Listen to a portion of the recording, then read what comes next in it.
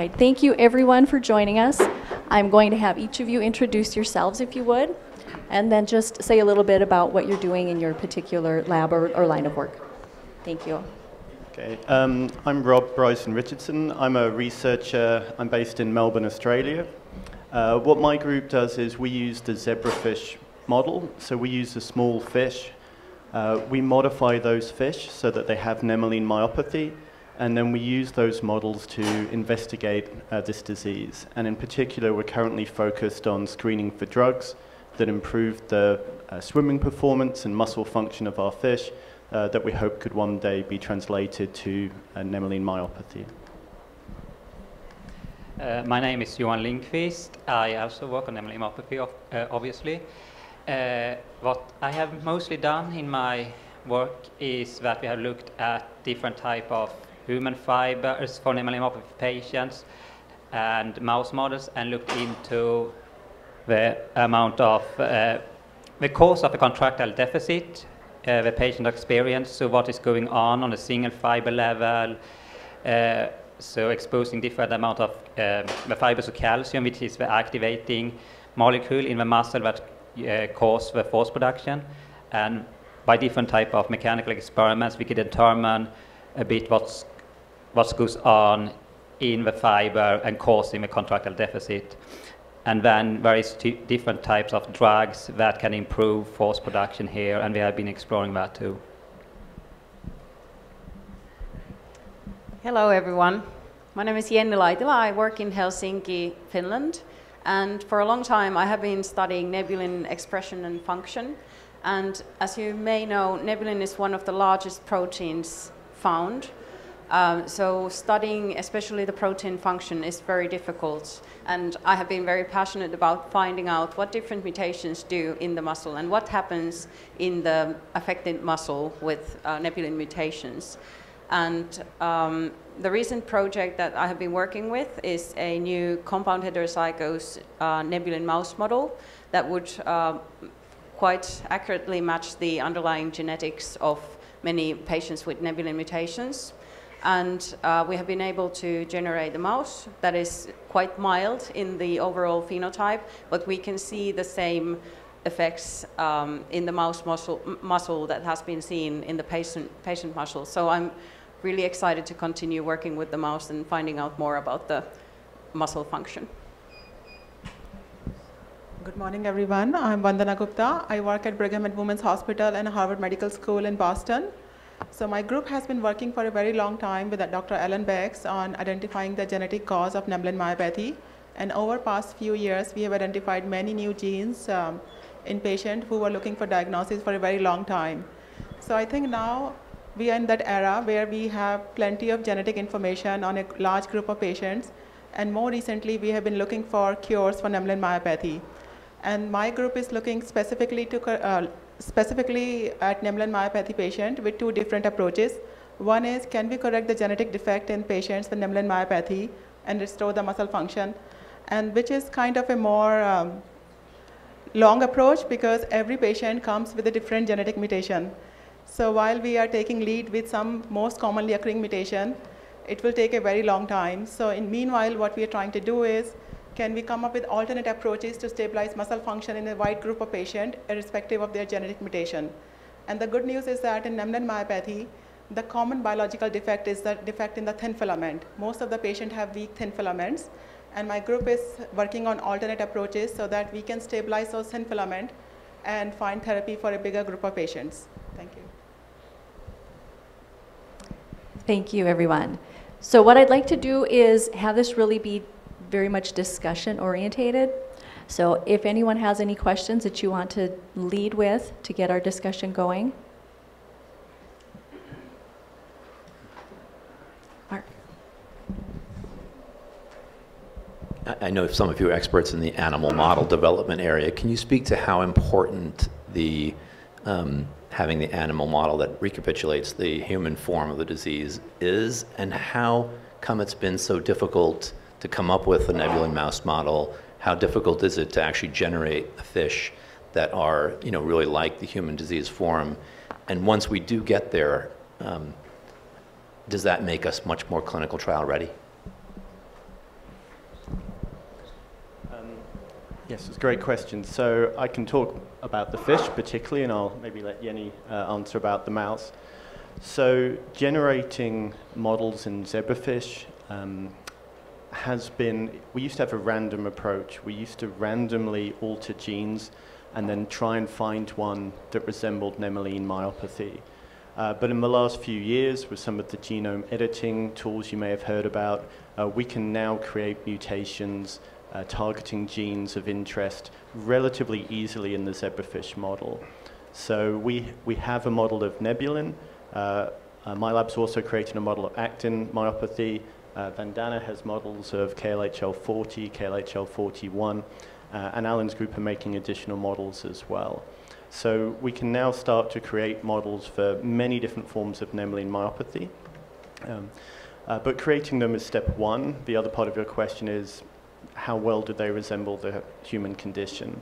Um, so muscle in any animal actually looks pretty similar. Um, obviously, we know there's big differences between everybody in this room and our tiny tropical fish that we like to work with. But when we look at the muscle um, at high detail under the microscope, muscle looks very similar in any vertebrate. So in all the fish, the mice, rodents, um, it looks very similar. But what we need to do when we make a model is say how well does it look like the disease that we're studying. So when we first make a model, we go away and do a lot of the tests that would have been done uh, on the muscle biopsy samples that were maybe taken during your diagnosis um, to say, do our mice or do our fish show those same uh, changes in the muscle that we see in the patients. We'll also study their function. So in fish, we look at how well they swim. Um, in mice, they look at how well they walk or their grip strength to try and assess their muscle function. And it's very important that we understand uh, throughout our research, we're looking at a model. So we want it to resemble the disease as closely as possible. Um, and whilst many of them do, and we believe we've got models we can work with now, it's also important we understand any differences because when we want to translate it, uh, the more similar they are, the better. Um, but of course, uh, we don't want them to be too similar. We want our models to be uh, much more uh, rapid in the laboratory. So uh, I've got a couple of slides I can show later, but our, our fish uh, grow their muscle and start swimming within two days. So what that means is uh, the process of muscle formation is very quick.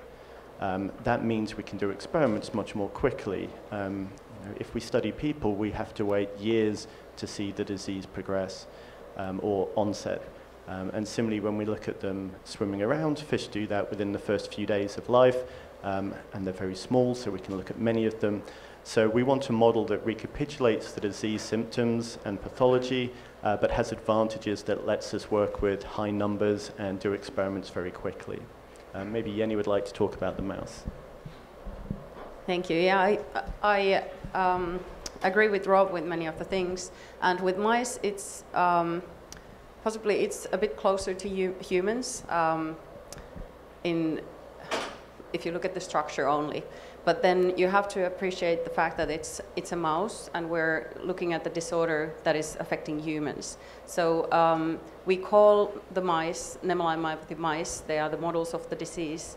But I would rather call them a nebulin model because they um, we have to look at the muscle in more detail to see what this protein that is very similar between mice and humans is doing in the muscle. And then we can maybe start translating those results into the human disease.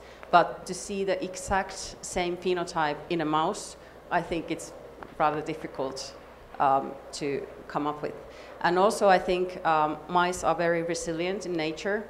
Uh, so the problem with the nebulin models has been that either we get a very severe phenotype with the mice that die within a week from birth, or we get a phenotype, we get the same um, structures, nemaline bodies that we see in humans, but the phenotype is very mild, because it's very difficult to model a milder phenotype in a mouse that is very resilient. So what we had to accept now with this novel model that I have been working with is that the in vivo phenotype is very mild. So we can't really see much of a difference in the running ability, grip strength, all those things. But when we go into the um, structure of the muscle or the function of, for example, single fibers, we start seeing the defect in the muscle function. And I think it's very important to find out what these mutations are doing in the muscle, how the function is al- altered in the muscle of the mice, and just forget about the fact that it's not exactly the same phenotype that we would see in a human, but we will learn a lot about the muscle function. Uh, we, and we need also appreciate the difference depending between different patients who have mutations in the same gene but different mutations. So I know that actin, for example, where, i- where we have worked on two different type of mutations. One was presented in the mouse, the uh, uh, Y40, H40Y mutation that caused weakness, severe weakness on single fiber levels. But have also worked on a patient that had increased force production on single fiber level, but still was diagnosed with nemaline myopathy and had a, a kind of mild nemaline myopathy. He had difficulties walking stairs, but on fiber level, he was stronger. So just the things that, and this likely points to that you cannot have one core for all the different types of mutations. So one maybe is you need to find a tuning somewhere in the muscle mechanics, while the other would just be a bigger muscle that increase overall force production, could help. But there's tricky tricks in here, just depending on mutations itself. So I want to add um, something about iPS cells. Um, in addition to animal models, uh, more recently scientists have been working on iPS cells. So basically, we can take your skin cells and convert them into iPS cells, which can be which can multiply forever in the in the dishes in the lab. And the advantage of using these cells is first they're closest in genetic composition to your body. So a lot of uh, therapies that we can try, there's a high chance that that, that, might that, that may work in um, human patients as well. And secondly, these iPS cells, we can differentiate into any kind of cells. We can differentiate into heart cell, we can differentiate into skeletal muscle cell, and see what is the effect of different therapies that we're trying in the formation of perfect skeletal muscle in a dish. And right now, we are not there yet. It has been um, very promising in several other diseases where they have corrected those cells in the dish and put it back in the patient body, and those cells have made healthy protein and restore the defect in patients. Um, we have a limitation with skeletal muscle is one of the biggest uh, organ that we have, but there's a possibility in future we may come up with approaches where we can take those cells, correct in a dish, and put it back, and they can make healthy muscle. So one uh, model system is not going to be enough to address the different uh, questions that we're asking here, but I'm hoping by combination of different um, cellular and animal models, we may come up with a common uh, therapy in future. Yeah, so IPS is uh, induced human uh, pluripotent, pluripotent cells, and the reason we call them IPS cells, as I said, like they can multiply forever in a dish. So you can keep them forever. We do not have to come and ask uh, you guys every single time we are doing an experiment that we need more cells from you. I thought, uh, Laurent, at, at the back, did you want to add something? Yeah. I just wanted to add uh, regarding the animal models that um, it's very important to have um, mice uh, model or larger animal models also for the dose finding because dose finding in a fish is something difficult. In a mouse, um, as long as it takes the drug by itself or that you give an IV, then you can figure out the dose. Um, and the second point that, that we have to take into account is that if you have an animal model with a milder phenotype, then uh, as you underlined, there is a huge resilience of these animals. And um, let's take the example of Duchenne. Uh, the MDX mouse is not that, not that sick. Um, it's really mildly affected. And there's a number of drugs that works on MDX. But they, any of these drugs could be translated into humans. So it's very important to, to have a, an animal model that is uh, sick enough, ill enough, um, to demonstrate the effect of the drug, and, and an animal model in which you can demonstrate the and, and find the right dose. If you if you get it, that's fine. If you don't get it, that it means that you have to adopt um, alternative strategy in the development, which is feasible, but decrease the robustness of the, of the development. Yeah, I, I- think, um, I think what Laurent is saying, and uh, which we understand when we use our models, to get clinical translation, you need to know a drug is safe and you need to know it's effective. And so, uh, the, work at it's safe, we need to know how much to give, and that's where larger models are very useful. Uh, and we can't do that from the fish. Uh, but in any of the animal models, if they have the disease, we can start to say, would this drug be effective? And so if, if you have safety and efficacy, that's what you need to, to translate. Would that, would that be a fair summary? Safety, efficacy, Yes. Yeah, I think the dose is part of this safety. Are we anywhere near that phase of a, of a drug that may possibly do anything? Can you repeat the question? Um, so the question was, are we anywhere near uh, finding a drug that may do anything? Um, so um, the work that I'm doing, which is funded by the uh, AFBS uh, and the Muscular Dystrophy Association, is to carry out a large drug screen in zebrafish. So we're testing uh, almost one and a half thousand drugs in our zebrafish model, and I have a poster out in the corridor. Uh, I'd be happy to talk through uh, all the details of with anybody uh, in any of the breaks. Um, I I think the short answer is we're not close, uh, but we have got, um, at the moment, we've identified four drugs that improve the swimming performance of our uh, Nebulin Nemaline model zebrafish. Uh, these are very early results. Um, we need to confirm that with larger numbers. And at the moment, we don't know what those drugs are. It's, part, it's an important part of the design that we're not blinded and introduce any, we don't know what they are, so we don't introduce any bias. Uh, but what that means is we don't know uh, how well tolerated these drugs are, what they're normally used for. So we're testing FDA-approved drugs because the route uh, to clinic is much quicker than a novel compound. Um, but whilst it's quicker, um, it doesn't necessarily mean it'll be very quick, but it is the fastest route if we find something. So we will finish that screen this year, um, and then we will know what the drugs are, and then I'll be talking to people like Laurent to find out um, which of them might be suitable for clinical translation and working to get evidence to do that. Um, so I don't want to say we've, we've got anything yet, but that's, that's absolutely what the goal of our research is, to, to find something that will um, get to clinic quickly and improve the condition.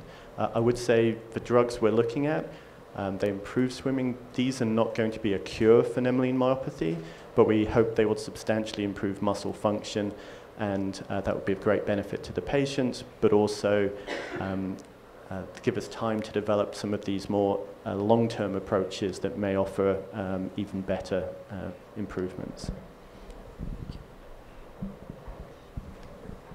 So I want to add that uh, my lab is approaching this problem from a dif- different perspective, from the basic science perspective, how we can improve thin filaments, because that can affect every single um, myopathy patient. And more recently, we have identified pathological processes that are common to different forms of Nemaline myopathy. And when we downregulate those proteins, which are toxic to muscle, we can significantly improve skeletal muscle function. So I think there are many labs that are trying different cures. Uh, some of them could be directly uh, fixing the uh, gene defect or mutation. Some of them could be improving the muscle, fu- muscle function. Um, but as of now, we cannot say we have a cure, but we're all trying. I may also just add that um, even though the mouse model is very mild, it might not be the best platform to test the therapies, but it's probably the most useful at, that we have at the moment to actually find out what is wrong with the muscle. So for uh, developing any therapies, I think it's very important to understand what is happening in the muscle and what kind of processes there are that we could actually try and affect. So that's why it's very important that we have a model that lives long enough for us to study what is happening in the muscle.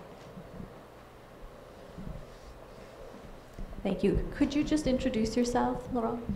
Yes. So my name is Laurent Servais. I'm a child neurologist.